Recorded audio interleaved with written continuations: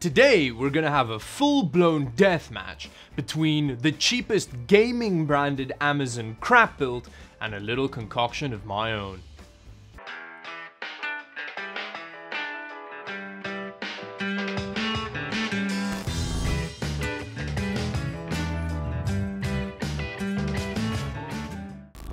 So the challenge for today's video is to build a better $390 system than that Amazon crap build. Although I think challenge may be a bit of a strong word, because considering the specs of that crap build, this is probably going to be one of the easier things I've ever done.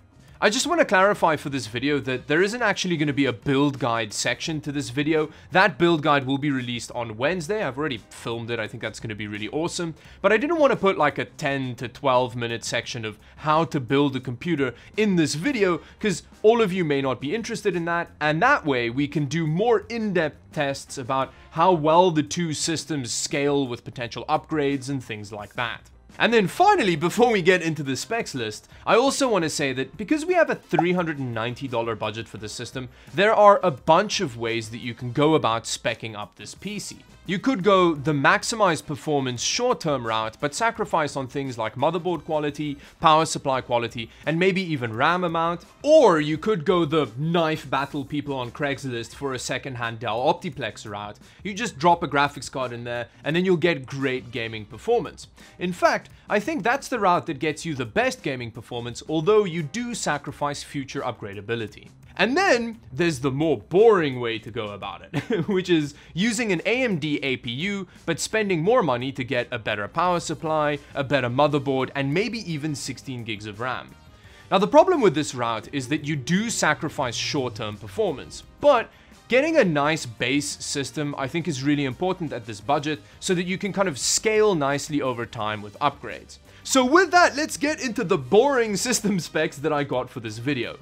Now, I did buy all of these components at a local shop because, you know, hashtag support local businesses, I can't believe I just did the hashtag with my fingers there. But what this means is that I had a more limited selection when it comes to especially motherboards, so the parts list that I have linked in the description below is actually slightly different to the components that I'm using, but it'll have the exact same performance because it's the same RAM, the same APU, and so on and so forth. Now when it comes to the CPU slash graphics card, I'm using the AMD Ryzen 3 3200G. Again, many of you have probably fallen asleep just by hearing me mention that name, uh, but it's a really good little APU, and it's going to perform significantly better than what the little crap build was packing. Motherboard wise, I actually ended up getting an Asus B450 TUF Gaming Pro. Now this is a much more expensive motherboard than you should buy at this budget, but again, this was the only option I really had from my, from my local shop, and it's not going to affect gaming performance. RAM wise, I could actually squeeze 16 gigs of DDR4 3000 MHz in here. Now going with 16 gig over 8 gig is very important when you're using an APU because the graphics card section of the APU uses some of your RAM. And if you only have 8 gigs of RAM, yeah, there's not much to go around. And the extra speed helps a lot as well. In regards to storage, I'm using a 240 gig SSD, which is gonna really help speed up the day-to-day -day usability of the system. I really love SSDs. Mm. Power supply wise, this is another thing that you should never ever cheap out on in my opinion, and that's something where the crap build cheaped out hard. Uh, but we're using an EVGA uh, BR500, which is a really nice budget option. It's a 500 watt, uh, 80 plus bronze rated power supply. And what I really like about this power supply is that it doesn't have ketchup and mustard cables, and it will easily be able to handle a nice GPU upgrade. And then finally, the case that I got for this build, um, is, is a bit controversial because it may or may not end up in the final product, but it's a Deepcool Matrix 30, which, yeah, we'll, we'll get into that, that one a bit later. I'm a bit, I'm a bit salty about that case. And with that very predictable parts list out of the way, let's do a quick 80s themed build montage, have a chat about how the build went, and then we can get into the deathmatch arena of death.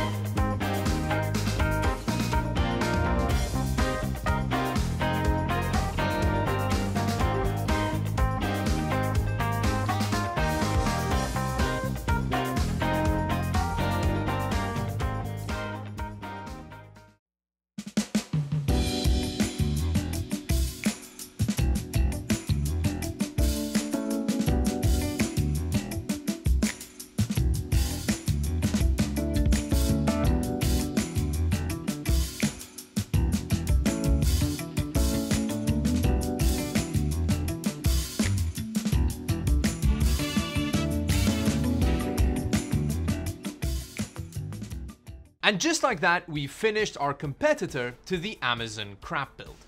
And I think it looks really good. Although the eagle-eyed of you probably would have noticed that this case isn't the exact same one that we started off with in the video. But that little Deepcool case really sucks. Uh, so I decided to go with this Thermaltake H17, which is uh, the same cost as the Cooler Master case that I've linked in the description of this video, so it's not a fancier case, it's still a very budget-oriented case. I really like this Thermaltake H17, although the front airflow on it is really terrible. It's fine if you have only the APU in there, but the moment that you upgrade and put a dedicated graphics card in there, it just can't handle the heat. So if you want a case that looks like this, I would recommend going for the H18 version, which has a perforated front, and it should have way better thermals. Now we need to size up the two competitors and see how they compare on paper before having a look at the benchmarks. Now interestingly enough, there are actually two categories in which our brand new system actually is worse than the crap build. Now the first one is in the amount of storage. Because I went for a 240 gig boot SSD in the system, uh, we actually have a lot less storage space than the 3 terabyte hard drive in the crap build. The next category where the crap build wins is that it actually has a DVD drive, which which our system doesn't. In fact, this case doesn't even have a space for a DVD drive. Although, in pretty much every other category, this little system that we built is significantly better than the crap build. When it comes to power supplies, the crap build had a terrible 450 watt power supply of PC death in it, whereas here we have a 500 watt, 80 plus bronze rated power supply with some nice looking cables. We have twice the amount of RAM, which for an APU based system is really important. And then when it comes to the APU, we have a massive upgrade as well. We still don't have a dedicated graphics card because of the route that we went for this build, you know, favoring future upgradability, but the 3200G is significantly more powerful than that 9600 in, in the little crap build. And then motherboard wise, we actually upgraded a lot as well. As I mentioned in the beginning of the video, I did accidentally buy a more expensive motherboard, uh, but if you go with a motherboard that I listed in the description below, that is still a huge upgrade and then of course there's the fact that we have an SSD as opposed to a normal hard drive. So, you know, our operating system response is going to be a lot faster and games are hopefully going to load faster as well. And finally, we're at the moment of truth. How much better does this system compare to the little crap build?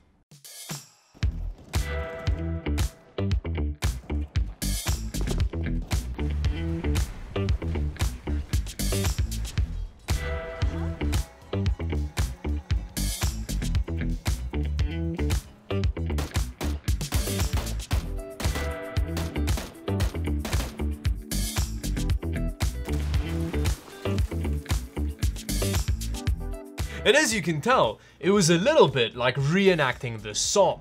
This PC absolutely obliterates the little crap build. In some cases, it was between three and four times as fast. I mean, I knew it was gonna be faster, right? But because we were going the sacrificing short-term performance route, I didn't realize it was gonna be this much faster than the little crap build. The difference between the two, with this system, it's a little bit like trying to game on like a PC at your local library, whereas this is like a decent gaming experience. It's just so much better. And then, because of the SSD and the faster CPU, not only does this PC vomit in the crap build's face when it comes to gaming performance, but just general desktop usability is also significantly faster. Things like installing all of those damn game launchers that you need these days, like Uplay and Rockstar's crap. All of that stuff takes so long to do on, on this little PC, whereas it's nice and snappy on, on our beast. But now let's see how differently these two systems scale with a graphics card upgrade. So what I'm gonna do is drop an AMD RX 570 into both of these systems and see how differently they perform with the same graphics card in there.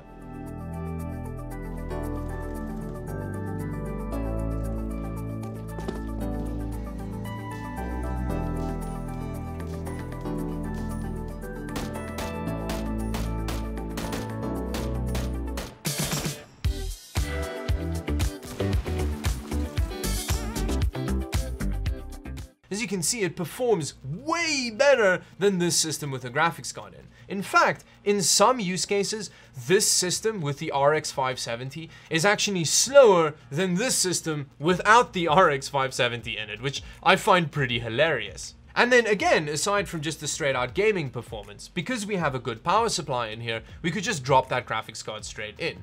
But the power supply that comes with this system is so terrible that a, I just flat out refused to ever use it in a PC again because I didn't want to burn my house to the ground. And B, it didn't actually have supplemental power for a graphics card. So even if you wanted to, you couldn't upgrade a graphics card with that power supply in it without having to also upgrade the power supply we can see that it wasn't really a death match. It was more like pitting a full-grown polar bear against a KFC battery chicken. It just really wasn't ever gonna work out for the little KFC battery chicken, was it?